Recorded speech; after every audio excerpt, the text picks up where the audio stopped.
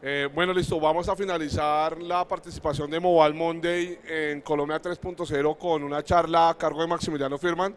Maximiliano tuvo eh, pues la delicadeza de acompañarnos el año pasado, repite este año, eh, y es sin duda el mejor entrenador de la región en HTML5, autor de varios libros. y vamos a, vamos a ver la perspectiva que él tiene respecto a HTML5 como tecnología de desarrollo y monetización en aplicaciones móviles. Entonces, eh, no es más, lo dejo con Maximiliano. ¿Va bien? Hola, hola. Hola, hola, probando. Ahí va. Bien. Hola, ¿qué tal? Buenas tardes. Eh, gracias por estar acá. Gracias también a Colombia 3.0 y a ti que me has invitado. Eh, como bien les dijo, mi nombre es Maximiliano, Maxi o Max, como quieran es lo mismo. FIRT en Twitter. La idea es eh, conversar en la próxima hora acerca de HTML5 y negocios alrededor de HTML5, especializándonos más en el tema de mobile o de móviles. Bien. Eh, en ese sentido, si no lo prendo, no funciona. Ahí va. Primero y rápidamente, ¿quién soy? ¿Qué hago? Soy desarrollador mobile web, así trato de definirme ahora desde el año 95-96 que hago desarrollo web y desde el 2000 que hago desarrollo móvil, aplicaciones para equipos móviles. Soy Adobe Community Professional, Nokia Developer Champion y BlackBerry Elite, que son tres programas de, reconocimiento de las empresas. Cada uno más o menos agrupa unas 50, 100 personas en todo el mundo eh, destacadas. Soy argentina, ya se dieron cuenta, imagino, por el acento. Eh, si mira mucho Fox Sports, seguro ya conocen el acento. Eh, disculpen. Tengo una, empresa de desarrollo. Estos son algunos productos. Después les voy a mostrar algunos hechos en HTML5 de marcas. Eh, estas son marcas reconocidas en Argentina. Tal vez algunas, como Taste Sports, también conozcan aquí. yo personalmente he sido profesor de, de algunas empresas, que seguramente algunas reconozcan de nombre también. Y estoy dando charlas últimamente en todo el mundo del tema de mobile y del tema de HTML5. Eh, como bien les decía, estuve el año pasado aquí en Colombia 3.0. Eh, y en Argentina soy eh, director y profesor de un instituto de capacitación que se llama IT Master y donde tenemos cursos de HTML5 mobile y una colección de libros en conjunto con Alfomega, que es una editorial que está también disponible aquí en Colombia. Esos son algunos libros de la colección. Yo personalmente he escrito algunos libros, eso es un estante que tengo en mi casa, lo tengo que actualizar la foto porque ya tengo algunos más. Eh, muchas son igual traducciones de, originales que escribí en inglés. El último en español es este, Ajax Web 2.0 con jQuery para profesionales, que se vende aquí en, Bogotá y en Colombia. Y en inglés, Programming the Mobile Web, que es la editorial O'Reilly, que las deben conocer por los animales en la tapa. Y eh, este libro en particular está traducido al chino, ruso, turco, italiano, francés, pero no al español, así que no me pregunten por la versión en español porque no está. Y el segundo libro que escribí en inglés, jQuery Mobile, ese sí está disponible en español, pero solo en España, por ahora. Así que veremos si, baja, eh, si cruza el, océano en algún momento. Em, y por último, desarrollé un sitio llamado mobilehtml5.org, que hoy es la, digamos, única referencia que hay respecto a todas las cosas que se pueden hacer con HTML5 y la compatibilidad en cada una de las plataformas móviles. Bien, entonces tratemos de descubrir por un segundo primero qué es mobile. O sea, si estuvieron hoy durante todo el track aquí, habrán escuchado mucho acerca de mobile, pero primero tratemos de, de acercarnos un poquito. Mobile usualmente para ustedes, primero, ¿alguno ya hizo mobile? Puede levantar la mano. ¿Algo mobile? Hay unos 10 más o menos. El resto, ¿alguno quiere hacer mobile? Bueno, bastante. ¿Y los demás vinieron por el café? Em, ¿Cuál es la idea? Usualmente los que quieren entrar en mobile, una de las imágenes que hay es que es todo una especie de bosque complejo, ¿no? Es que, es difícil pasar, es muy difícil entender mobile, es muy complejo, parece que es mucho más complejo que lo que uno cree. Em, y lo otro es que van a quedar así, que van a quedar en el manicomio, básicamente, después de tantas plataformas y lenguajes y que nos dicen HTML5, que HTML5 sirve, que no sirve, que mejor nativo, que mejor esto, que mejor lo otro, que BlackBerry 10, que Windows 8, o sea, parece que nos vamos a volver locos. Y cuando hablamos de mobile, la siguiente expresión que nos viene siempre a la cabeza es un teléfono, ¿no? O sea, tenemos un teléfono. Y si, si no lo sabían, teléfono, si uno busca teléfono en Google Imágenes, este señor aparece. ¿Alguno sabe quién es? Es Bell, Graham Bell. Eh, supuestamente es el que inventó el teléfono. Ahora, él piensa en teléfono en esto, ¿no? Fíjense si lo trajéramos si lo trajéramos desde el pasado al señor Graham, al presente, mira nuestro teléfono, ¿no? Él está pensando en esto. Y cuando le mostramos todo lo que hace nuestro iPhone, Android, BlackBerry, Windows Phone, lo que sea que tengan hoy en sus bolsillos, eh, él en realidad no va a pensar en esto. Se va a dar cuenta que esto que le estamos mostrando en realidad se parece en un viaje en el tiempo a el reloj. ¿Cuántos de ustedes tienen reloj pulsera? ¿Cuántos lo tenían hace cinco años? muchos más. O sea, ha caído el uso de relojes. ¿Por qué? Porque el teléfono es nuestro reloj. Eh, cada vez hay más ruido ¿no? alrededor. Eh, lo otro es, se usa como reproductor de música. ¿no? Eh, es nuestro reproductor de música. Es nuestra cámara de fotos. Ya no andamos con una cámara de fotos. Es nuestro anotador y donde llevamos las cuentas y las cosas es nuestra calculadora, nuestro cartero, eh, el que nos trae las noticias, el que nos permite ver las fotos familiares, eh, el que nos permite ver incluso películas, ubicarnos en el mundo, ver un mapa, el que nos permite jugar y comprar cosas. Incluso es nuestra enciclopedia. ¿no? Tenemos alguna duda y se la preguntamos al teléfono, como en qué año nació Schwarzenegger. Eh, entonces, es un teléfono nada más, seguimos diciendo teléfono móvil, pero en realidad estamos viendo que si traemos a Graham Bell, claramente no es un teléfono móvil. Y él va a pensar que es una especie de aparato que nos hace superhumanos. Incluso para muchos de ustedes, si se olvidan el teléfono en sus casas, probablemente se sientan menos humanos ese día, se sientan más débiles. Em, entonces, y si piensan cómo evolucionó el teléfono en, muy poco tiempo, pueden pensar en esta imagen que ven ahí. ¿Saben quién es, no? Imagino. Eso no tiene mucho tiempo. ¿no? Y fíjense el teléfono que estaba usando. Entonces la evolución ha sido tan rápida que no nos damos cuenta. De hecho, pareciera que hemos perdido cierto poder de asombro. Ya no nos asombran cosas que nos deberían asombrar de lo que podemos hacer hoy con un teléfono, entre comillas. Bien, entonces cuando decimos, decimos un montón de cosas en realidad, no solo teléfono, tenemos ciertas ventajas cuando empezamos a pensar en negocios o en aplicaciones que queremos hacer para teléfonos.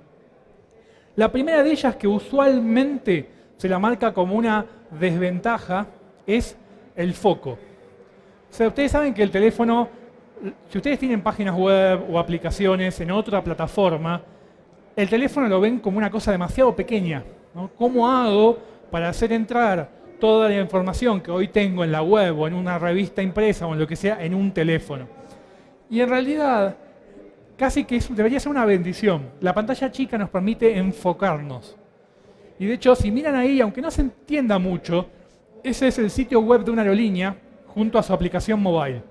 Si ustedes tuvieran que ir hoy a sacar un vuelo, a comprar un vuelo, ¿cuál querrían usar? El mobile. Porque claramente se ve que está más claro y voy a llegar mucho más rápido a lo que quiero. Y eso es algo que ha pasado. La web, digamos, diciéndolo mal, está llena de basura hoy, ¿no? O sea, ¿cuántos sitios ustedes buscan una información y la información hay que rastrearla entre un montón de cosas que ustedes no quieren? Y la pantalla chica nos obliga a enfocarnos. Y lo que hacemos es generar un mejor, o sea, estamos forzándonos a generar un mejor producto para el usuario, que sea más fácil de entender, más fácil de usar. El otro, la otra ventaja del uso de mobile es el contexto. Siempre la, parte más obvia cuando se habla de contexto es la geolocalización, ¿no? que me pueda ubicar.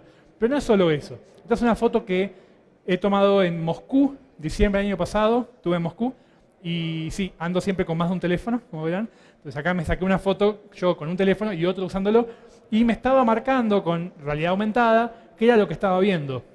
¿No? Eso es contexto. Había un edificio atrás y quería saber qué era y me mostraba la información de ese edificio. No tengo que buscar en Google nada, directamente ya sabe y me lo muestra adelante del mismo edificio. Otro ejemplo, esta es una aplicación que existe en Argentina, que es de fitopatología, no sé cuántos de ustedes saben qué significa eso, pero básicamente es una aplicación para gente que trabaja eh, en el campo, que trabaja con, por ejemplo, con, con plantas, y lo que hace es con la cámara de un teléfono o una tablet poder reconocer si la planta tiene alguna infección, según el color, la colorimetría de la hoja. Entonces, información que te puede dar el contexto, por ejemplo, el uso de la cámara. Fíjense que el contexto no es solo la ubicación geográfica, hay un montón de cosas que sabiéndolas nos pueden abrir la cabeza a, mejorar el negocio que hoy tenemos o el producto que hoy tenemos. Otro ejemplo, también una foto tomada en Tokio, de, con el teléfono sabía si estaba por pedir eh, carne, cerdo o pollo. Obviamente en japonés. Y esto es una aplicación que traduce eh, menúes en japonés, del japonés al inglés. Funcionaba bastante bien, al menos para las cosas básicas, a ver si, eh, de qué me está hablando. el otro tema con los celulares es que el celular es mío. ¿Cuántos de ustedes hoy aquí prestarían el teléfono al de atrás? ¿Alguno prestaría su teléfono? Parece que no, O sea, el sentimiento de pertenencia es muy fuerte, mucho más que cualquier otro dispositivo. O sea, si alguien me pide a mí una notebook para mirar Facebook, se la puedo prestar, pero mi teléfono es como que no. Es muy difícil que uno preste su teléfono. Eh, y de hecho nos han inventado durante mucho tiempo la idea de que nos iban a implantar un chip, ¿no? íbamos a estar el chip implantado y nos iban a seguir y todas esas cosas. Y lo, cierto es que ya lo hicieron, se llama teléfono celular. Y además lo llevamos con gusto, parece. Pero eh, lo cierto es que el teléfono viaja conmigo todo el tiempo. ¿Cuántos tienen su teléfono ahora a menos de un metro? Levanten la mano. Todos, ¿no? ¿Tú no? Ah, te levantan la mano. Eh, ¿Cuántos lo tuvieron mientras dormían a menos de un metro? Casi todos. Bajó un poquito, pero todavía muchos. ¿Por qué? Porque es mi despertador probablemente, ¿no? Es mi reloj con el cual me despierto. ¿Y cuántos de ustedes, vamos a ver ahora cuántos levantan la mano, ¿eh? lo tenían mientras estaban en el baño? ¿Nadie se anima a decir? Pero usualmente al teléfono no lo dejamos nunca. La billetera la podemos dejar las, las llaves, pero no en el teléfono. Porque seguro va a pasar algo, ¿no? En algún momento. Y entonces ese sentimiento hace que si ustedes logran que su producto esté en un equipo móvil, hay una relación con el usuario muy distinta y que es mucho mayor que con cualquier otro dispositivo. Entonces el, teléfono móvil está cerca mío, todo el tiempo, 24 horas, 7 días de la semana, todo el tiempo está alrededor nuestro y tiene que estar al alcance de la mano. El radio es la longitud de mi brazo. Si está más de eso me siento incómodo.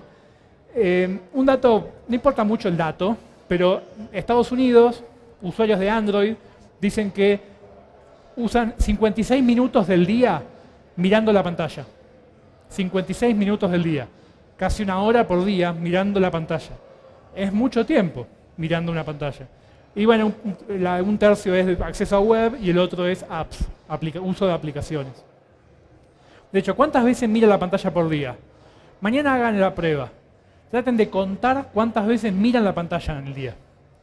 A ver si el número les sorprende o no. Y de hecho, si reciben una alerta, les suena, les vibra el teléfono, ¿cuánto tardan en ir a mirarlo? Usualmente nada. Es inmediato. Si recibo un email o un mensaje de voz, bueno, después lo miro. Pero una alerta en el teléfono no, es inmediato. Tengo una sensación de inmediatez. Eso hace que uno, si entiende todas estas cosas, el negocio que uno hace puede funcionar mucho mejor.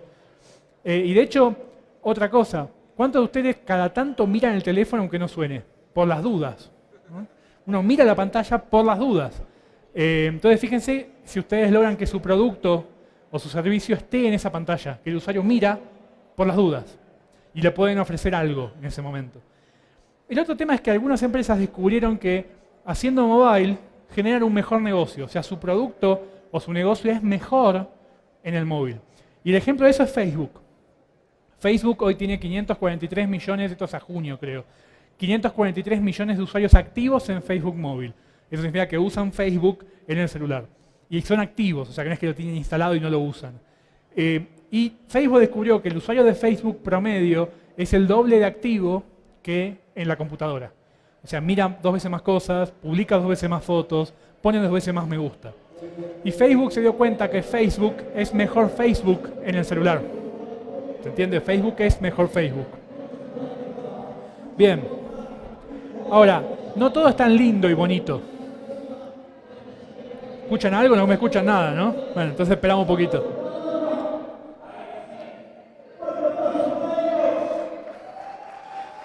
Para la gente que está escuchando online le doy el aviso nada más. Estamos esperando un segundo. Luego la gente que está escuchando online no escucha todo esto, tiene solo mi micrófono.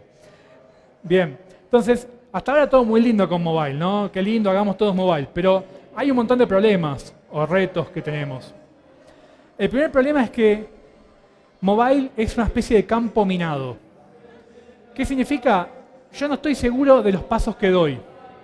Incluso aquellos que ya hicieron alguna aplicación mobile, estoy seguro que nunca, no le hicieron totalmente seguros de que esa era la manera de hacerlo bien. La sensación de caminar en un campo minado. Es algo que, es constante en el mundo móvil, de no estar seguro del paso que yo doy. Después, hay muchas preguntas usualmente. Ahora estamos en guerra de quién habla más fuerte. Eh, muchas preguntas tienen seguro ustedes y probablemente no sepan la pregunta, que es peor. O sea, no saben qué preguntarme. Les digo, pregúntenme algo. Ustedes saben que tienen muchas preguntas, pero no saben realmente qué preguntarme. Ese es uno de los problemas en el mundo mobile. Hay muchas plataformas. Esa foto es de mi casa, del piso de mi casa. Eh, y es vieja ya, ya tengo más equipos. O sea, hoy tengo 45 equipos entre tablets y teléfonos. ¿no? Lo cual parece como que asusta. Bueno, ¿qué hago? Hay que especializarse, aunque sean ya tengan mucha experiencia hoy programando o haciendo páginas web o con HTML5, tienen que aprender cosas nuevas para poder hacer mobile. O sea, hay que aprender cosas nuevas. El otro problema es que los usuarios odian a los que crean productos para mobile, usualmente. Por muchos motivos. Piensen ustedes como usuarios ahora. El primer motivo es este. O este o este. La web móvil y las aplicaciones móviles son muy lentas, ¿no? Son muy lentas. Después, la experiencia de navegación a veces no está preparada para que funcione bien. ¿A cuántos de ustedes tuvieron que navegar con la uña? ¿no? Tratando de hacer clic en el lugar correcto. Entonces, eso sucede mucho y uno pierde el usuario pierde las ganas cuando se encuentra con estas trabas. El otro problema es este, la falta de batería. ¿Cuántos de ustedes se han quedado sin batería en algún momento? Y muchas veces, de hecho, él está cargando su teléfono por ahí. Eh, lo que sucede es que las aplicaciones, los sitios web, todo está consumiendo batería y los desarrolladores no lo están teniendo en cuenta. Que el código que uno escribe consume batería. Entonces hay que optimizarlo. Y el otro problema es que, este es un ejemplo, por ejemplo, si ustedes, alguno tiene un Windows Phone, ¿Nadie Windows Phone? ¿Nadie? Windows Phone usa Internet Explorer como navegador. Y hoy cuando uno entra a muchos sitios web, eh, incluso de empresas grandes como Google, eh, si ustedes tienen un iPhone o un Android, ven una versión optimizada. Para móviles muy linda, con zonas táctiles grandes, pero cuando uno entra con otros navegadores, por ejemplo Internet Explorer, ve una versión básica, pantalla en blanco, unos links azules muy chiquitos. Hay una discriminación hoy en los usuarios, o sea, los desarrolladores de aplicaciones discriminan a los usuarios según qué teléfono tienen. Y eso todavía afecta más a Latinoamérica, porque en Latinoamérica no es como Estados Unidos, donde sí la mayoría tiene o iPhone o Android, y los demás casi no existen. Pero en Latinoamérica no es así. iPhone y Android son importantes, pero no son entre las dos el 97% del mundo. Sigue estando BlackBerry, sigue estando Nokia, hay otras plataformas y uno tiene ese equipo y uno no parece no ser suficiente usuario para algunos sitios o aplicaciones o juegos que dicen, ah, no, esto es solo para iPhone. Y en realidad, cuando uno hace un negocio, eh, discriminar a los usuarios no parece una buena práctica de negocio. Y muchas veces, de hecho, escucho mucho en Latinoamérica, eh, decir la idea, no, lo hago para iPhone y Android porque obviamente son los que más hay. Y en Latinoamérica, ¿basado en qué lo dicen? En Estados Unidos sí es verdad, pero en Latinoamérica no es tan así. Tienen que analizar en cada país al cual ustedes están apuntando cómo es en ese país. Y otro error común y por el cual los usuarios odian a, a muchos desarrolladores es minimizar. ¿Qué significa? La aplicación móvil o la web móvil lo único que hace es poner una versión muy reducida de lo que hay en la web. Muy reducida. ¿Se entiende? Entonces, yo quiero acceder a lo que estoy acostumbrado a acceder y no puedo. Porque la versión mobile incluye solo un subset muy chico que alguien decidió y entonces a mí no me sirve porque yo quiero acceder a X cosa. Un ejemplo muy claro de esto, me alejo de los parlantes, un ejemplo muy claro de esto es sitios de deportes o diarios deportivos. Muchas veces la versión móvil solo tiene las últimas noticias y no tiene, por ejemplo, el partido en vivo. ¿Vieron el seguimiento en vivo del partido? Y uno desde el celular, desde el teléfono, quiere acceder a cómo va el partido. Y eso, como está minimizada la versión móvil, no es lo mismo que tiene la versión desktop, no está. Y es justamente lo que uno va a buscar. Entonces el usuario que hace odia al desarrollador y al dueño de la marca. Entonces, todo trae a la idea de cómo hago dinero, ¿no? Si no, si no le gustan los dólares, pongo esto. Pero ¿cómo hago dinero? ¿Cuáles son los modelos de negocio existentes? Entonces, en ese sentido les quiero contar, eh, sí, pero no sé si es, a veces no ahí estoy ahí, va bien. ¿eh? Eh, les quiero contar cómo era el modelo de negocio antes. Antes digo hace cinco años. Este era un juego que yo hice, es un juego de truco, truco es un juego de naipes en Argentina, un juego de cartas de naipes. Y había hecho un juego de truco y ese juego de truco estaba disponible para comprarlo. Eh, con Movistar, por ejemplo. Uno podía comprarlo con Movistar. Y lo que sucedía es que ese juego costaba, digamos, un dólar, podía costar alrededor de un dólar. De ese dólar, a mí como desarrollador, solo me llegaba, digamos, 5 centavos de dólar. Y me lo pagaban al año. Ese era el modelo de negocio clásico había una cadena, una cadena de valor demasiado grande, que significa los que se van quedando con el dinero en el medio. Digamos, Movistar se quedaba con la mitad, después había otro que se quedaba con un 20%, había otro, otro, y al que el dueño del producto no le quedaba nada. Eh, esto es antes del 2008, digamos, llamémosle una era pre-iPhone. iPhone cambió este modelo. Hoy, los modelos de negocio que ustedes pueden usar son, uno, y este es uno de los que usualmente no se nombra. Es evitar la competencia. ¿Qué quiero decir con esto? Es muy común que si ustedes tienen un sitio web o un producto físico o venden algo, eh, ustedes no tienen una versión mobile de eso, pero están empezando a surgir eh, productos que son solo mobile, empresas nuevas que no existían. Por ejemplo, ustedes tienen un diario, pero sale ahora un nuevo producto que es solo para mobile. Cuando sus usuarios, sus actuales clientes, quieren acceder al servicio de ustedes en el, móvil, no puede porque ustedes no tienen el servicio móvil. Entonces, ¿qué hace? Buscan alternativas. Entonces, ¿qué es lo que sucede? Con el tiempo ustedes van perdiendo clientes en pos de una competencia que antes no existía. Ustedes se los están dejando. Ustedes están perdiendo sus propios clientes actuales. ¿Se entendió eso? O sea, por eso eso es muy importante. O sea, uno dice, pero yo, ¿quién nadie usa el, el móvil en mi sitio? Pero es un es un círculo vicioso. Eh, ¿Qué pasa cuando tu cliente sí lo use? Que puede ser mañana que se fue y se compró uno nuevo y de golpe quiere acceder al servicio de ustedes si no lo tiene. Entonces, ¿qué va a hacer? Va a acceder a ese servicio a través de una competencia que sí existe en móvil.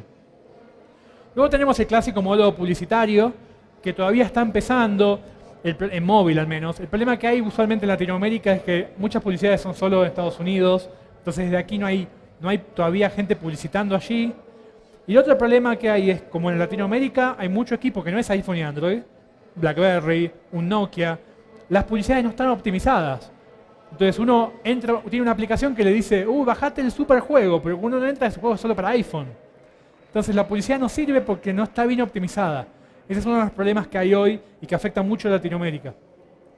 La venta en tiendas es la otra, el otro modelo clásico, es vendo una aplicación en la tienda, la cobro, un dólar, cinco dólares, mil dólares, lo que quieran. Y lo que está funcionando más ahora es que la aplicación sea gratuita y eh, después el usuario compre contenido dentro de la aplicación. El contenido puede ser, por ejemplo, capítulos de un libro, acceso a más ejercicios de algo, o en un juego, más niveles del juego, más vidas, trucos para acceder más rápido a cierta cosa. Y eso es más de contenido. Y suscripciones es otra opción. De hecho, se genera mucho dinero con suscripciones. Suscripciones es una especie de débito automático. O sea, el usuario se suscribe a ustedes y les paga por mes a cierto servicio. Entonces, eso se cobra automáticamente todos los meses. Y por último, esto está teniendo mucho, mucho uso últimamente, el concepto de moneda virtual, que a veces se lo conoce como freemium también, que es parecido al de contenido dentro de la aplicación, pero es, tiene una ligera diferencia. ¿Cómo funciona esto? La idea es, ustedes hacen un juego, una aplicación de buena calidad, pero lo dejan gratis. ¿Dónde está el negocio? Una vez que el usuario se engancha a, usarlo y quiere más, tiene que esperar a mañana, a no ser que compre un Pack Plus. Por ejemplo, hay juegos en la tienda de fútbol de buena calidad, al estilo FIFA, que están gratuitos. Pero para los que los jugadores jueguen, hay que darles bidones de agua. Y la persona que me trae los bidones viene todos los días y me trae dos bidones. Con eso los jugadores pueden jugar dos partidos por día. Entonces, si uno quiere jugar un tercer partido, hay que comprar bidones. Entonces, es el negocio. El juego es de calidad, es gratuito, o sea, el usuario lo juega y quiere más, y cuando quiere más tiene que comprar.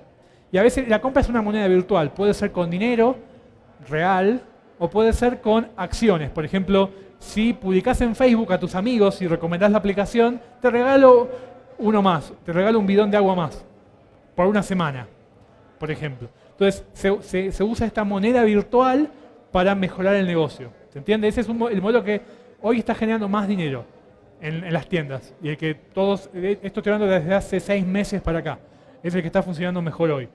Seguramente están preguntando qué tiene que ver todo esto con HTML5. Pues ahora les hablo de los modelos de negocio móviles en general y ahora hablamos de, bueno, cómo desarrollamos esto. Bien, entonces, ¿cómo implemento? Esperen que miro cómo venimos con la hora. Eh, y ahí aparece la clásica pregunta nativo versus web. ¿Cuántos escucharon de esta pelea? ¿Hacemos nativo hacemos web? Bastantes, digamos. Usualmente tiene muchos problemas esta pelea. Cuando escuchen a alguien hablar de esto, tengan cuidado, porque no está muy claro qué es lo que realmente están diciendo. Por ejemplo, estamos discutiendo usar JavaScript y la performance de JavaScript contra usar C, Objective-C, .NET, C++, Java o el que sea.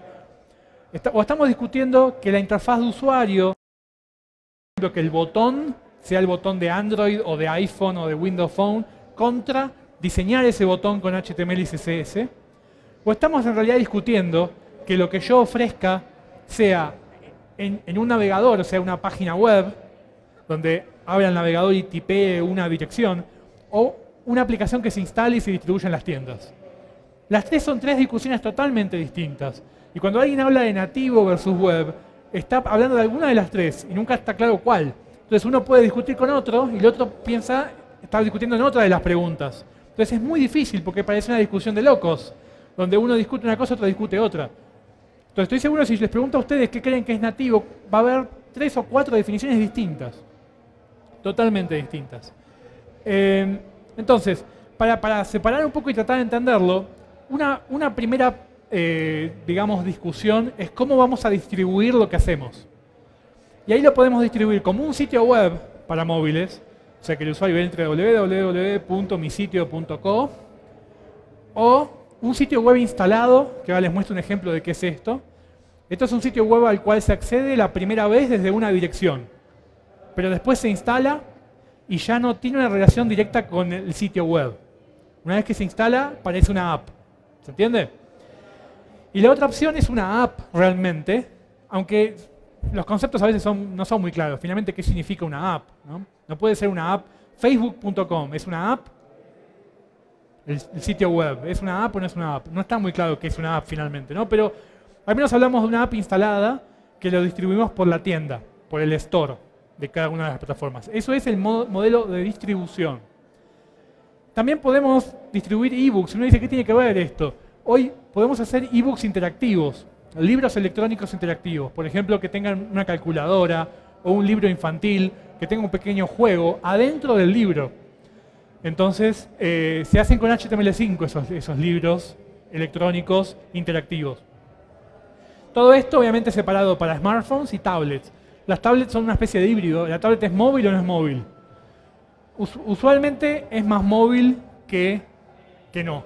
¿Por qué? Porque los sistemas operativos son los de móvil, usualmente. Los navegadores son más de móvil, entonces están más acercándose a móvil.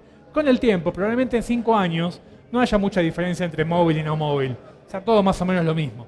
Estamos empezando a ver esa convergencia final. Pero por ahora está bastante claro que es un smartphone, que es una tablet, que es un elemento de escritorio. Bien, déjenme mostrarle algunos ejemplos de apps para que vean. Pero antes de, antes de mostrarle los ejemplos, déjenme mostrarles esta diapositiva. Creo que antes de los ejemplos es mejor. O sea, hasta ahora vimos modelo de distribución. Ahora, cuando hago un sitio web o un sitio web instalado, sí o sí estoy forzado a HTML5. No hay otra opción. O sea, existía Flash antes, pero sabemos que en los móviles no anda. Con lo cual no hay alternativa. Cuando hago un sitio web o un sitio web instalado, sí o sí es HTML5. Cuando hago una app, la aplicación puede ser hecha en HTML5 o en plataforma nativa. Acá es donde aparece esa distribución. Cuando desarrollo una app, puede ser hecha con HTML5 también. Entonces ahora sí les muestro unos ejemplos. Primero, déjenme que me agacho a buscar los equipos. Acá tengo una camarita, espero que se vea con la luz. Vamos a hacer el intento. Les voy a mostrar aplicaciones hechas con HTML. Son aplicaciones hechas con HTML5 y después les muestro también algunas otras. Eso es el, cable VGA. Esperen que mueva un poquito esto. ¿Se ve, no? Más o menos. Eso que están viendo ahí es una aplicación de un sitio argentino llamado Le, no sé si alguno lo conoce, es de deportes. Y esta es una aplicación, la aplicación de iPhone. Es una aplicación, está en la tienda, es gratuita, se la pueden bajar. Si tienen iPhone, tiene un icono, ven, lo abro, es una aplicación. Está hecho con HTML5. Eh, yo participé del desarrollo, ¿ven? tengo los equipos argentinos y puedo entrar y leer las notas, tengo videos y cosas. Esta está hecha con HTML5 y está en la tienda de iPhone. No tiene grandes problemas de rendimiento, como después vamos a hablar de eso, pero por el tipo de aplicación que es. Ahora se les muestro la misma aplicación en Windows Phone, que también es gratuita, también está en la tienda, y que comparte código. Comparte código con la que acaban de ver. Esperen que este equipo es más grande, así que tengo que subir un poquito la cámara. Ven que están las mismas noticias en un formato más a lo Windows Phone. Y comparte código con la otra. Entonces puedo entrar a la misma nota de decir Wii pelado. No sé de qué está hablando la nota, pero eh, evidentemente alguien se va, algún pelado se va a Francia, imagino. Eh, y esto también es HTML5. La aplicación de, otro ejemplo, la aplicación de Wikipedia para iPhone nativa, digamos, aplicación nativa, entre comillas, está hecha con HTML5 y es de código abierto, pueden incluso ver cómo está hecha. Eh, y la misma aplicación está compilada para Android, entonces ahora les muestro un Android con la misma aplicación de Wikipedia, que comparte obviamente el mismo código con la aplicación de iPhone, y es una aplicación que está en la tienda de Android, hecha con HTML5. Ahora les voy a mostrar Windows 8. En Windows 8 les voy a mostrar la aplicación de Olé, que también ya está hecha y ya está en la tienda, es gratuita. ¿En qué está hecha? En HTML5. Y comparte código con las otras. ¿Es exactamente el mismo código? No, comparte código. Puede ser un 85%, puede variar según el tipo de aplicación. Hay que hacer cosas particulares, pero compartir un 85% de código no está mal. Entonces les muestro la aplicación de Olé. Ah, tenía abierta, por eso vamos a refrescarla, así vemos que es la misma nota. ¿Ven? De Wii pelado, seguimos con lo mismo. Es una aplicación para las tablets y para los desktops de Windows 8. Y tengo la, misma nota, el modelo, modelo más tablet, hecha con HTML5 también. No es nativa. Entonces, otro ejemplo de este tipo de soluciones hechas totalmente con HTML5. Estos son algunos ejemplos. Déjenme mostrarles un ejemplo de aplicación que se instala. Vamos a les voy a mostrar dos ejemplos. Uno con la camarita y otro sin la camarita. Ahora después les iba a contar que eh, se viene un nuevo sistema operativo el año que viene, que se va a distribuir mucho en Latinoamérica, llamado Firefox OS. En Latinoamérica lo va a distribuir Movistar. Y si bien todavía no salió eso, eh, ya hay una versión parecida al tipo de aplicaciones que se puede hacer para Android. Es un Firefox Alpha, si quieren, que tiene lo mismo que va a tener el, el, Firefox OS. ¿Qué es lo que tiene? una tienda. Tiene apps, ¿ven que dice apps ahí? Las apps están hechas totalmente en HTML5. Estas apps yo las puedo instalar y tienen un icono en la home screen de mi Android. Y las puedo vender incluso. Eh, no sé ni qué tengo acá. Estas son apps que bajé, pero puedo ir a la tienda. Tiene una tienda de, de Mozilla y puedo descargar aplicaciones. Están todas hechas con HTML5. O sea, son aplicaciones HTML5 que se instalan. Eh, bueno, no sé si Wi-Fi me acompaña, pero puedo abrir alguna de estas. No tengo idea ni qué son, ¿eh? yo las instalé el otro día ni las probé. Así que todavía es muy beta esto, así que todavía no hay mucho porque recién está solo en una versión alfa para Android. Pero en 3-4 meses esto ya va a estar finalizado. O sea que uno puede hacer aplicaciones y van a funcionar en Android y en Firefox OS. Y esas aplicaciones se instalan. Y ahora déjenme mostrarles otra aplicación para iPhone y para iPad que es una aplicación que se instala, un sitio web que se instala. Se voy a mostrar en el emulador que se va a ver mejor que si pongo el iPad acá que no hay lugar. Entonces, eso es el emulador de iPad. El sitio es conocido, de hecho a lo mejor lo escucharon nombrar porque es un ejemplo hoy de, de este tema. Es de Financial Times, que es un diario de Inglaterra. El Financial Times quitó su aplicación de la tienda, tuvo problemas políticos comerciales con Apple y decidió quitar la aplicación nativa de la tienda. Entonces, ¿cómo uno instala la aplicación del Financial Times? Eh, a través del sitio este. Uno entra a app.ft.com y lo que hay que hacer es agregarla a la pantalla de inicio. Una vez que yo hago esto, se agrega un icono, que yo ya lo tenía, y ustedes pensarán seguro, bueno, es un acceso directo al sitio web. Pero déjenme mostrarles que cuando lo abro, hay una pequeña diferencia, déjenme achicarlo un poquito logrando así, si lo ven un poco mejor. No sé si llegan a notar alguna diferencia, y es que no hay más Safari, no hay más navegador, ni arriba ni abajo, y no es que está oculto, no está el navegador. Eh, tengo toda la pantalla completa para la aplicación. Y ustedes dirán, bueno, pero hace falta tener internet. No, esto puede funcionar desconectado de internet. Yo saco el wifi ahora y esto sigue funcionando. Me subo el avión mañana, que vuelvo a Argentina, y puedo leer el diario en el iPad. La aplicación está instalada. Se instaló en mi iPad y las notas también se bajaron y quedaron guardadas, al menos la última vez que me conecté. Entonces, este es un sitio web instalado. Es otra metodología de distribución, está hecho con HTML5. Y no pasó por la tienda de Apple. O sea que puedo hacer cosas que a Apple no le gusten. Y esto va a funcionar igual. Bien, estos eran algunos ejemplos. Y yo sé que cuando hablo de HTML5, algunos de ustedes, y estoy seguro que algún speaker anterior probablemente les haya contado de algo negativo, y es esto, eh, que es, digámoslo, yo lo voy a llamar una especie de el coco de Facebook y HTML5. Eh, por algún motivo ahora cuando lo puse de vuelta se está comiendo unas barras arriba y abajo. Pero bueno, vamos a ver si funciona. Ah, se ve más o menos, pero... Ah, ya sé por qué. Fui yo. Ahí está. Eh, no sé si escucharon que Facebook dijo que cometió uno de los peores errores en, hacer HTML5, en su aplicación de Facebook nativa. Y los medios tomaron solo esa parte, pero esta es la, esto es lo que dijo Mark Zuckerberg entero, completo, Mark Zuckerberg, CEO de Facebook. Se los, se resumo, pero básicamente porque es más largo. Lo que dijo fue que ellos apostaron demasiado a HTML5 y todavía en algunas plataformas no funciona tan bien.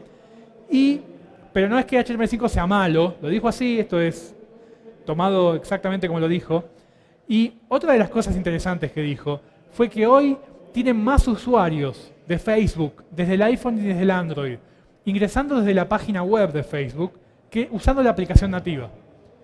Hay más usuarios que sumando los dos. O sea, si agarran todos los usuarios de HTML5, de, perdón, de la aplicación de iPhone y de, y de Android, los suman, es menos que los usuarios que usan la web.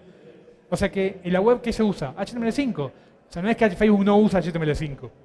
Pero claro, su aplicación nativa tenía partes en HTML5 y o porque no estaba bien programada o porque realmente, y de hecho hay un detalle técnico, si a alguno le interesa le puedo pasar el link después, de exactamente cuál fue el problema que ellos tenían, técnico, de por qué su aplicación era tan lenta en HTML5, porque realmente era muy lenta, así que, de hecho para mí fue una buena decisión dejar HTML5. O sea, uno no debería ser fanático de nada. O sea, no es que todo es la solución para todo. no, algunas cosas para una, para, son buenas para cierto tipo de desarrollos y otras no. Eh, y en el caso de Facebook, está bien, ellos tienen el poder de hacer una aplicación nativa, no tienen ningún problema. Por ejemplo, para Firefox OS, este sistema operativo nuevo, Facebook ya hizo la aplicación para Firefox OS. ¿En qué está hecha? En HTML5. Pero que Facebook no quería HTML5, no, nadie dijo eso. Lo que dijo que en el caso de Android, eh, y más de Android 2, la plataforma de HTML5 realmente es muy mala, es muy mala, y ahí realmente no es una buena idea hacerlo en HTML5. Bien, entonces bueno, cuando hacemos sitios web estamos obligados a usar, usar HTML5, no nos queda otra. Y aparecen algunos conceptos como Responsive Web Design. ¿Escucharon hablar de Responsive Web Design? Que la idea es usar que el mismo sitio se adapte, esa sería la idea. Eh, esto siempre yo le pongo un signo de pregunta, digo, está bueno, pero manéjenlo con mucho cuidado. ¿Cuál es el problema? la idea de entregar el mismo HTML, tanto para desktop como para TVs, como para teléfonos y tablets, es un ideal muy lindo, pero en la realidad puede traer problemas de rendimiento, más que nada en los móviles, que sabemos que el 3G no es muy bueno. Con lo cual, entregar el mismo HTML en algunos casos está bien y, se aplica muy bien, y otros probablemente no. Tengan cuidado cuando lo usan. El otro problema de, de los sitios web es cómo ganar la lealtad. Porque, ¿qué significa la lealtad? Si ustedes tienen que pensar, uy, tengo que ver algo en un sitio web, ya piensan, tengo que abrir el navegador, y tengo que tipear www, aunque no haga falta la gente lo tipea igual, punto bla bla bla bla punto com. Hay un costo mental de eso, fuerte. Uy, tengo que sacar el navegador tipear. Si lo hago una vez, eh, necesito ganar la lealtad del usuario. ¿Y eso qué significa usualmente? Ponerle un icono en esa pantalla que mira todo el tiempo. Entonces la próxima vez no, va, no lo va a pensar dos veces, porque sabe que es fácil acceder al servicio de ustedes. Tiene el icono no tiene que tipear la dirección de nuevo. ¿Se entiende? Esos es otro de los temas que tienen que hacer con sitios web. Y el otro tema es la comunicación web y app, que es nuevo. Si ustedes tienen una app y tienen una web, pueden comunicarlas ahora. Se puede hacer en iPhone y se puede hacer en Windows 8. Déjenme mostrarles un ejemplo en Windows 8. Estamos bien con la hora, bien. O sea, voy a abrir Internet Explorer y les voy a mostrar un juego hecho en HTML5. Cut the Rope. ¿Conocen el juego Cut the Rope? Este juego está hecho todo en HTML5. O sea, para los que dicen que HTML5 no sirve, acá tienen un juego que pueden probar y, se fijan si sirve o no. Tienes,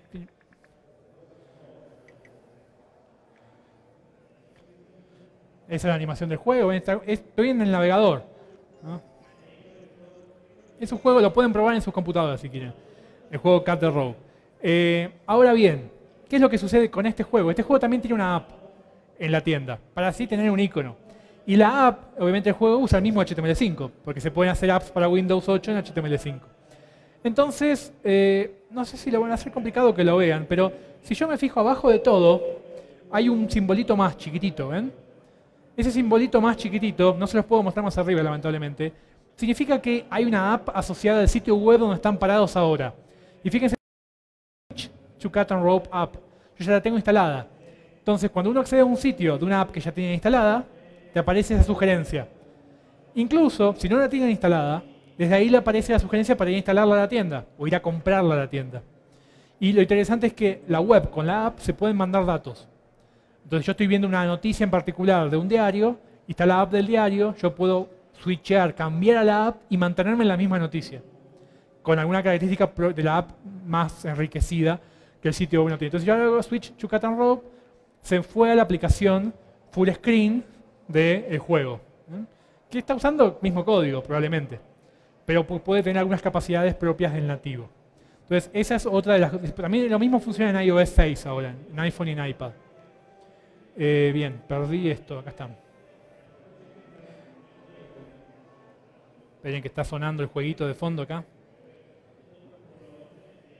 Bien. Eh, estábamos acá, bla, bla, bla, bla. Y cuando hablamos de plataformas, tenemos que dividir, yo les, divido la plataforma en tres. Lo que se conoce como feature phones o equipos de gama baja, que básicamente no hacen más que hablar por teléfono y mandar mensajes de texto, y alguno tendrá alguna linterna, ¿no? Pero en el fondo no hacen más que eso. A veces tienen un navegador, pero es muy, muy básico, la pantalla es muy chica, y el usuario no tiene plan de datos, ni wifi, ni nada. O sea que navega muy poco ese usuario. Luego tenemos los smartphones en la otra punta, que son los menos en cantidad, pero son los que más, son los que más eh, uso tienen, son los más activos. siempre está el, dilema de qué es un smartphone, ¿no? en qué momento un smartphone deja de ser inteligente. Eh, no está muy claro la diferencia. Por ejemplo, la gente de BlackBerry dice que todos sus teléfonos son smartphones, cuando la competencia dice no, que algunos no lo son porque no tienen ni Wi-Fi, ni son touch, eh, ni 3G. entonces, es una pelea que nunca tiene definición. Pero lo que les quiero mencionar es que hay una capa en el medio que es muy importante, más en Latinoamérica, que son llamados social phones. Que la definición rápida es teléfonos que vienen con el loguito de Facebook, eh, pero no son smartphones, son equipos económicos que pueden costar 80 dólares, 100 dólares. No me van a hacer la conversión a pesos colombianos. Eh, pero vienen con un navegador y, la idea de que sean social es porque como vienen con Facebook y o Twitter, el usuario se acostumbra a usar eso y empieza a ser un usuario más activo también de la web y de, otras, de otro tipo de apps. Y de hecho, en algunos casos, yo te conozco casos de Argentina de marcas muy reconocidas, tienen más descargas de apps de esos social phones que de los smartphones. Tienen más usuarios que descargan apps de esa gama, de la gama de social phones. En esa gama hay eh, plataformas como Serie 40 de Nokia, Bada de Samsung y algunas otras dando vueltas, pero para que tengan una idea de qué tipo de equipo estamos hablando. Eh, cuando hablamos de plataformas, hay un montón de plataformas. Estas son solo algunas, digo, las más importantes hoy al menos. Tenemos obviamente iOS, iPhone y iPad, Android, eh, que en tabletas muy bien no le está yendo, pero el mundo de teléfonos sí. O sea, por, este, más en Latinoamérica está teniendo la mayoría clara. Nokia sigue siendo muy importante con Symbian todavía en nuestra región. Y veremos si mira o no la, la gente comprando Windows Phone, que es el que está ahí, Windows Phone 7. Ahora salió Windows 8, que es un híbrido entre mobile y desktop eh, porque están las tablets, y vendrá Windows Phone 8, que se presenta creo que la semana que viene, eh, con nuevos equipos, aunque acá llegarán el año que viene. Hoy se venden los Windows Phone 7.5, que les mostré de Windows Phone, este es un Lumia 7.5. Tenemos a BlackBerry, también muy fuerte en nuestra región, hoy con una plataforma cambiante, una plataforma que la actual va a desaparecer y se reemplaza por BlackBerry 10, que es una plataforma totalmente nueva e incompatible con la anterior, que eh, espera una buena una buena distribución en Latinoamérica, y Firefox OS. Esto le decía que todos están peleando a ver quién se convierte el segundo en Latinoamérica. Dado que iPhone no siempre es el segundo en Latinoamérica, eh, Android es el primero, todos pelean a ver quién va a ser el segundo, si Windows Phone, si BlackBerry 10 o Firefox OS. Y todos ellos soportan aplicaciones en HTML5. También nativas, pero si lo hago nativo tengo que programar en varios lenguajes probablemente. Eh, no estoy diciendo que HTML5 sirva siempre. En algunas situaciones sirve, y como les mostré, se comparte código. No les mostré todos, pero la aplicación de OLE, creo que, que compartan código hay como siete versiones. Hay versiones para Symbian de Nokia, para el Nokia N9, que es Migo. Hay versiones para Smart TV, eh, y todas comparten el mismo código. O sea, eso es impagable, la idea de compartir cierto código. Insisto, no es que todas las aplicaciones se pueden hacer y tienen un buen resultado con esa técnica, pero muchas sí. Pero muchas sí. Eh, bien, cuando hablamos de mobile web, ¿qué significa? Desde la perspectiva del desarrollador es usar HTML, CSS y JavaScript. Eso es. Muchos le van a decir que mobile web no existe, porque la web es una sola. Sí, desde el punto de vista del usuario. El usuario quiere acceder al tiempo, al espectador. No importa si es la versión mobile, tablet, yo quiero ver las noticias. O sea, está bien, es la web, pero desde el punto de vista del desarrollador hay cosas específicas que hacer, con lo cual existe como concepto.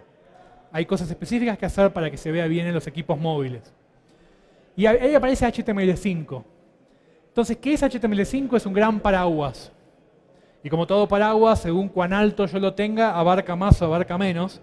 Y hoy abarca un montón de cosas y todas las empresas están apostando a HTML5, incluso Facebook. Eh, porque de hecho Facebook quiere que todos los que hacen juegos y aplicaciones para, para ellos, para Facebook, los, hagan en HTML5 y no más en Flash. Porque no andan los dispositivos móviles, entre otras cosas. Todos están apuntando de una u otra manera y, apostando a HTML5. Ventajas, es multiplataforma, puedo usar cualquier API que exista para la web. Como estoy usando JavaScript, cualquier API que ya exista para JavaScript la puedo usar, no tengo que esperar que salga la API para Firefox OS de Flickr. Uso la web, la API web de Flickr. El know-how es más fácil de conseguir, si ustedes ya son programadores web es más simple, no es que ya saben todo, pero están más cerca. Y conseguir recursos también es más fácil. Eh, es más future friendly en el sentido de que no hay ninguna plataforma nueva que vaya a salir que no diga que es compatible con HTML5. Eh, ahora, no todo es tan lindo, las desventajas son la misma multiplataforma. ¿Qué significa? No, no todo en HTML5 es igual en todas las plataformas. Con lo cual hay que lidiar con eso. Eh, la magia de un solo código anda perfecto en todos lados no existe. Eh, y no sé si va a existir en algún momento. Eh, o sea, va a haber que hacer un trabajo siempre de adaptación. Y subestimación es otra de las desventajas. Ah, es HTML, fácil. En un día lo hacemos. Y cuando empezás no es tan fácil como parece. O sea, igual en, en costo sigue siendo mucho menor, mejor y menor que hacer siete aplicaciones en lenguajes distintos, con know-how distintos, con SDKs distintos y a veces con programadores distintos. Sigue siendo mucho más eh, costoso eso que tratar de eh, armar un equipo de HTML5 que conozca las diferencias, que pueda adaptar las cosas a cada plataforma. De vuelta, el mismo código no va a andar perfecto en todos lados, nunca. Eh, el rendimiento es una desventaja. Por definición, HTML5 siempre va a andar más lento que algo nativo. ¿sí? Por definición. Así como Assembler siempre más rápido que C. O sea, es así. El tema está en que según qué tipo de aplicación sea y qué plataforma apunten, eso tiene un impacto real o no. A Facebook le tenía un impacto real, evidentemente. Entonces, depende del tipo de aplicación que ustedes hacen, es ver si ese impacto influye o no en la experiencia de usuario. En algunos casos sí, en otros casos no. En el caso de LE no hay ningún impacto real en la interfaz de usuario. Eh, y aparece esta, siempre aparecen las dudas. Bueno, ¿qué hacemos? ¿Compilamos? hacemos una aplicación como la de Financial Times que se instale, hacemos una web con la URL, ¿qué hacemos? Aparece esta duda. Y es una desventaja no tener claro esto. Nadie lo tiene claro, todos tienen las mismas preguntas. Y la otra desventaja es cuando se intenta emular la interfaz nativa. Yo, yo quiero que se vea como una aplicación de BlackBerry, igualita. Y cuando uno hace eso, termina impactando en la performance. Yo les recomiendo que hagan su interfaz. Facebook tiene la interfaz de Facebook. Facebook es Facebook en cualquier plataforma. Tiene adaptaciones, obviamente, cosas específicas de cada plataforma, pero el botón de, Facebook de check-in es el botón de check-in en cualquier lado. Y bueno, para más multiplataforma, usualmente PhoneGap, y que, eh, es, que hoy es un producto de Adobe, que es, que es open source con el nombre Apache Córdoba, es una de las soluciones. Tengan cuidado igual que no es tan simple como, uno, como a uno le parece al principio, hay que hacer un trabajo importante, pero es uno de los apoyos que hoy tenemos para hacer este tipo de aplicaciones. Bien, entonces, para ir terminando, los móviles son los autos voladores. ¿Qué quiere decir con esto? ¿Se acuerdan de Martin McFly? Que venía en 2015 de autos voladores. Bueno, autos voladores no va a haber en 2015. Pero tampoco había un equipito como este que podía tener videoconferencias en cualquier lado, en el medio del Cerro Montserrat, y estar hablando con cualquier familia en, en Argentina, y viendo las noticias, y hablando con todo el mundo. No existía eso. O sea, estos son los, e, esa tecnología que en el año 1985 no se imaginaba, no fueron los autos. Eh, cuando hagan aplicaciones móviles, no, sean, no hagan cosas promedio, no hagan cosas así nomás, porque el usuario móvil espera un buen diseño, espera una buena usabilidad. No hagan cosas, bueno, sacamos así rápido y sale, porque no funciona. El usuario no lo va a usar, no lo va a recomendar y desaparece rápidamente y va a ser un fracaso. Sí, ya termino igual. Eh, después tratan de ser creativos de despertar su creatividad. Este ejemplo, yo no me acuerdo si el año pasado también lo mostré, no me acuerdo. Pero eh, este ejemplo es una aplicación de Nueva York para el, metro, que no, no, es la clásica aplicación que te muestra las estaciones y dónde, dónde bajarte. En realidad es una aplicación que te dice, yo le digo dónde estoy y dónde quiero ir. Dónde estoy no tengo que decirle, pero dónde quiero ir sí. Y me dice no solo en qué estación tengo que entrar, sino en qué en qué tren me tengo que colocar, en qué vagón, en qué número de vagón y en qué puerta para salir primero a la escalera. Son, fíjense, es una imaginación aplicada. Eh, esta aplicación tuvo como 40.000 descargas eh, en poco tiempo a 5 dólares. Eh, la idea es ser el primero que sale de, en, el metro. Entonces, ¿el objetivo cuál es? Usar la creatividad. O sea, en el móvil el contexto se pueden hacer muchas más cosas que lo mismo que tenemos en la web más chiquito. Se pueden hacer muchas más cosas. Traten de usar buenas prácticas que hay, vean las prácticas que existen, para móvil en particular. No sean fanáticos, esto es muy común ser fanático. No, el BlackBerry no sirve para nada. El iPhone, no, eso es para, eso es para nenas. Entonces no hago nada para iPhone. O sea, no, o sea, no, me encanta el Android porque es open source y, la, el mundo es abierto y qué sé yo, así que no hago nada para los demás no eh, discriminen a los usuarios, no sean fanáticos, sean fanáticos si quieren, pero no como desarrolladores de productos, sean fanáticos como usuarios. Pero cuando hagan desarrolladores de productos, la gente que está afuera no piensa como ustedes. Entonces la única manera de hacer negocio es que las cosas sean multiplataforma. Angry Birds están todas las posibles plataformas que puede estar. Porque si no, no se puede convertir en un producto que hagan chistes en la televisión. Si fuera algo solo para usuarios de iPhone, no se puede hacer un chiste en televisión y, que eso, llegue a la gente. Porque la gente, el tres cuartos de la gente no lo va a entender, el chiste. En cambio, Angry Birds lo entienden todos hoy los chistes de Angry Birds. Eh, ¿Por qué? Porque es multiplataforma. O sea, no significa que si hacen multiplataforma se van a convertir en Angry Birds. Pero yo creo que si no son multiplataformas es muy difícil que se conviertan en Angry Birds. Eh, no se asusten por la cantidad de plataformas que al final no es tan complejo. Una vez que entienden y aprenden lo que tienen que aprender, no es todo tan complejo. Y traten de lograr la mejor experiencia para cada contexto. ¿Qué significa? no hagan una sola versión, adapten la versión, tampoco hay que hacer N versiones, sino que hay que hacer una versión que se adapte sola y para eso se usan técnicas que existen para hacerlo eh, y que cada usuario reciba la mejor experiencia que su equipo lo permite. Bien, me acabé de hablar. Gracias. Lo que quieras. ¿Hay, espacio para tres preguntas? ¿Alguien tiene alguna pregunta? Yo, tengo una ya mirando toda la parte, digamos, de OLE que comparte el código. ¿Qué estrategias se utilizan ahí de, desarrollo como tal para tener adaptar Y ahí el concepto de capas es fundamental. utilizan en VC teniendo un control. Sí, o sea, no importa el nombre, lo importante es que estén capas. O sea, las capas de conexión de datos, comunicación, eh, todo lo que es información es la misma en todos lados, la navegación es la misma en todos lados. Ahora hay una capa de, interfaz de usuario y una capa de lógica de eventos que varía según plataforma. Por ejemplo, el Android tiene botón de ir para atrás y el iPhone no. Entonces, eso hay que capturarlo según la plataforma. Entonces, usualmente con un 80-85% del código compartido va muy bien eh, y después hay, obviamente, layers, capas que hay que adaptar. Pero es posible hacerlo.